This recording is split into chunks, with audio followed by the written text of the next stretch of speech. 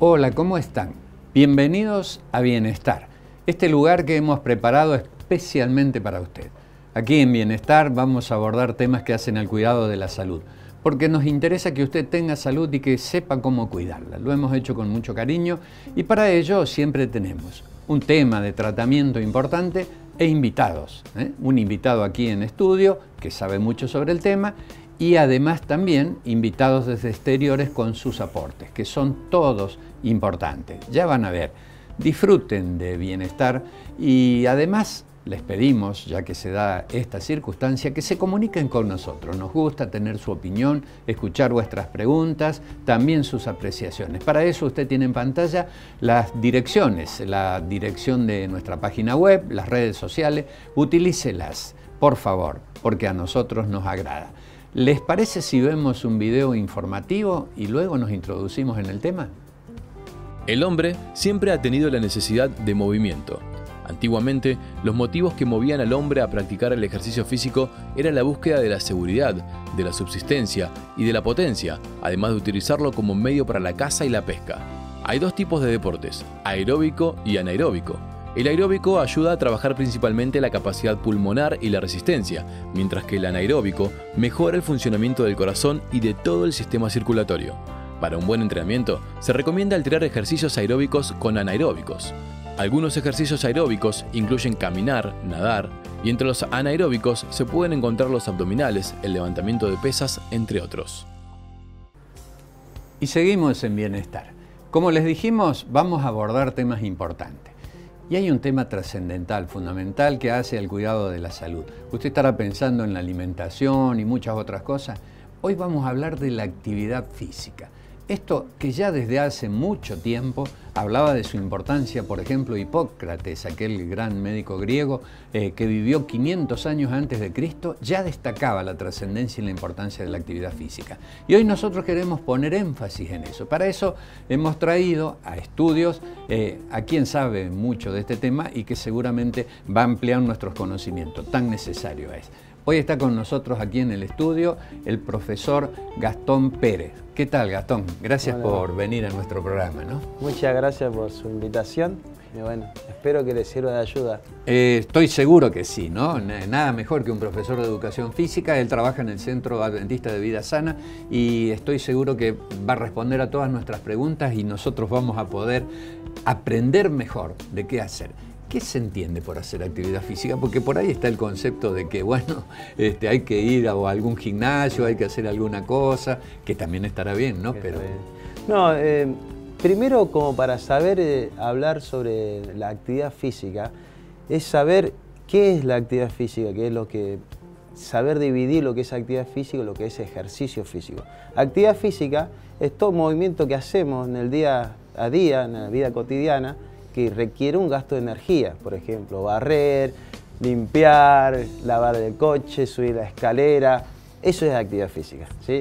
Y ejercicio físico es algo ya, una actividad física programada, planificada y estructurada, que es lo que uno hace, por ejemplo, lo que dijo usted, el ir al gimnasio, hacer una rutina de actividad física, educación física, ¿sí? deportes, que tiene toda una estructura, una planificación, un objetivo, ¿no es cierto?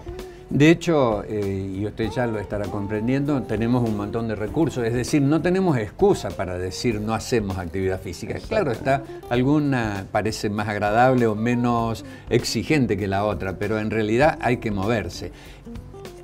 Este, este tema de moverse, de hacer actividad física, ya sea de las maneras que han sido planteadas, ¿le proporciona al organismo algún beneficio? Sí, eh, digamos, los eh, beneficios que tiene, siempre y cuando estos beneficios eh, lleve a que sea, como dije, una actividad, un ejercicio físico, algo que sea día a día, cotidiano, ¿sí? que sea acorde a la edad de cada uno, que sea de acuerdo a la, intensidad y, a, cada persona. ¿sí? Eso lleva un beneficio en muchísimos órganos del aparato, tanto locomotor, los músculos, los huesos, sino también a nivel eh, fisiológicos, eh, por ejemplo, el corazón, la respiración, el aparato respiratorio, el digestivo, ¿sí? el reproductor, el, digestivo, hasta a nivel mental también. Importante todo esto, lo que ha dicho el profe, quiero que usted lo tenga en cuenta, es decir, muchas son las partes de su organismo que se ven beneficiadas. Usted piensa en los músculos, pero él mencionó, por ejemplo, el aparato cardiovascular. ¿Por qué no le preguntamos a nuestro cardiólogo e invitado en exteriores, el doctor Carlos Daniel Yañez, cuáles son los beneficios que proporciona al aparato cardiovascular el ejercicio físico? Bien, yo voy a comenzar por lo contrario, el sedentarismo, actividad física y sedentarismo. El sedentarismo es un factor de riesgo cardiovascular. ¿Qué significa esto? Que es una, característica que se sabe está asociada a aumentar la probabilidad de tener una enfermedad en el corazón. Sobre todo eh, estamos hablando en las arterias que irrigan el corazón. Por eso lo, principal para poder este, mejorar, para poder prevenir este tipo de enfermedades es hacer actividad física. Eh, los grandes beneficios que tiene la actividad física de tipo aeróbica, eh, como caminar, como trotar, como la natación, eh, se ve reflejado específicamente en, un, en otro factor de riesgo que es el colesterol. ¿Por qué? Porque hace la actividad física, aumenta el colesterol que protege a nuestras arterias. Es decir, que eh, sería un factor eh, protector contra eh, este, el colesterol que, daña a nuestras arterias. Este sería el antídoto para poder bajar y, mejorar la condición de las arterias. Mm, aparte, mejora el rendimiento eh, eh, el corazón se contrae y expulsa la sangre a través de las arterias. Lo que hace la actividad física es mejorar esa contracción y el volumen que expulsa. ¿Qué significa esto? Que con menos latidos podemos tener, hacer el mismo trabajo. Es decir, que nuestro corazón va, con 50 latidos por minuto, con 60 latidos por minuto, así como estoy yo en reposo, le basta y le alcanza. Una persona que no hace actividad física, para estar así en reposo, puede estar en 70 o 80 latidos por minuto. Significa que está más tiempo el corazón eh, descansando y un corazón que descansa por más tiempo puede durar mucho más. Ciertamente importante lo que dice el doctor Yáñez. Hay algunas cosas respecto del corazón que sobrecargan su trabajo y que por supuesto se pueden contrarrestar también con la actividad física, o por lo menos eso le vamos a preguntar al profe. Eh, por ejemplo, la obesidad. ¿Te consultan o es una indicación la actividad física para controlar el sobrepeso o la obesidad? Sí, es, es uno de los factores que más busca la gente ¿no? hoy en día, bajar de peso controlarse. En especial los eh, sobrepeso hay que tener, las personas que ya vienen con un sobrepeso, hay que tener un, control mucho más estricto de, qué actividad darle por el mismo sobrepeso que tiene, por la misma carga que tienen ellos. Pero este, lo ideal es siempre hacer actividades, eh, un, principio de la actividad física la progresión, empezar de menos a más, hacer una buena entrada en calor, el cuerpo y las funciones, la fuerza, la velocidad, la elasticidad mejoran cuando el, cuando el cuerpo va aumentando su temperatura gradualmente. ¿sí? Y también es importante, como dijo el doctor Yáñez, este, la actividad aeróbica en ello, en principal. Siempre la actividad física trae mucho beneficio para ello, para el gasto de energía, pero es importante acompañarlo con, con la con la nutrición, una buena nutrición. Estamos aprendiendo cosas muy importantes. Tal vez usted ya la sabía, pero aprovechamos la sapiencia del profe para hacerle esta pregunta que está relacionada a esto.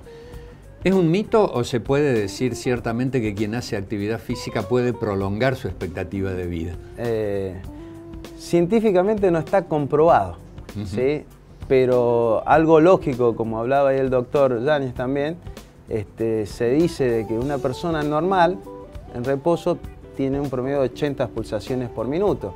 Si uno haciendo actividad física puede lograr bajar a 60 pulsaciones por minuto, eso da un gasto en el 24 horas, un ahorro de 28.000 pulsaciones.